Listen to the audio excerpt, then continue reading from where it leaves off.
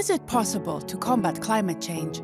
Yes, fusion will make it possible. With ITER experiment, we will harness the power of the sun on Earth.